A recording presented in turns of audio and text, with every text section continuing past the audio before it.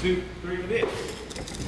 This vehicle has been sitting here for about a year, and it's time for it to go.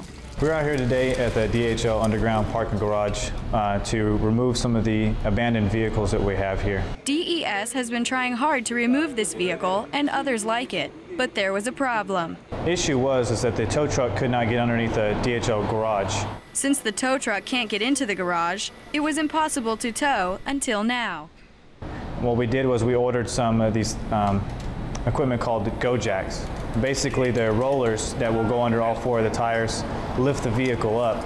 With the new equipment, DES can tow vehicles in harder to reach areas around the garrison. Specialist Leianah Guerra, Yongsan, Korea.